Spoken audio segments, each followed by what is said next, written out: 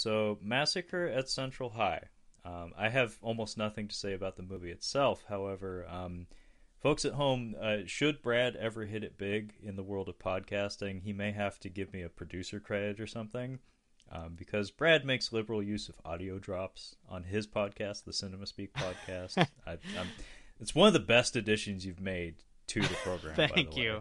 Um, it, you really do. You're a master at, at timing those and setting them up. like I, don't- I don't know how, I don't know how you're able to, to spin those plates in your brain to be able to maintain the conversation and A lot of those up. And practice.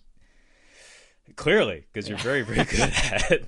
Um, anyway, long story short, um, every once in a while when I find myself like I don't know, staying up too late or waking up too early or something, I'll just be like, oh, what's some stupid audio I can send to Brad and see if he wants to put on the show at some point.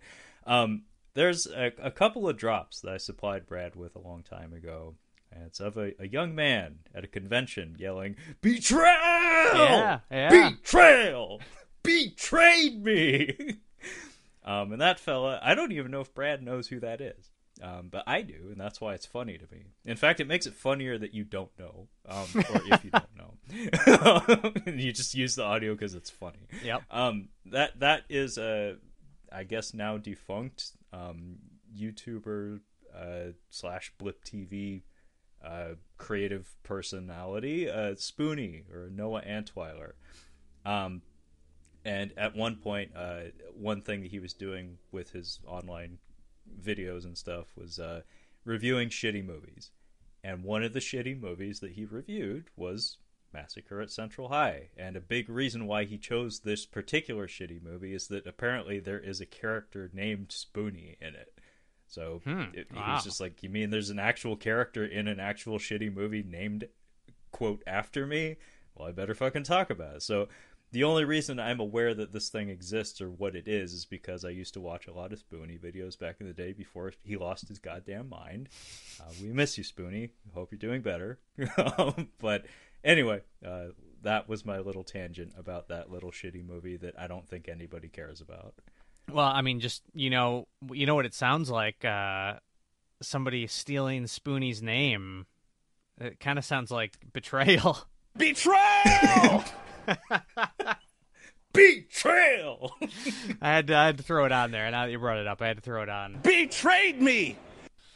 Yeah, I had no idea the uh, had no idea the backstory there. So, uh, first one that I'll t- I will point out here, Brad, and this is actually really fucking funny. Um, to me, anyway. To me, folks, shut up.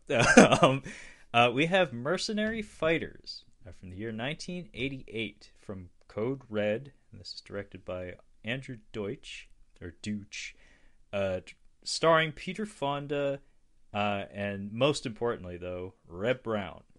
Uh, Reb Brown is a legend of uh, schlock cinema. Uh, he loud loudest scream in the West. Uh, big hulking blonde man played Captain America at one point. Always screams no matter what film and what occasion.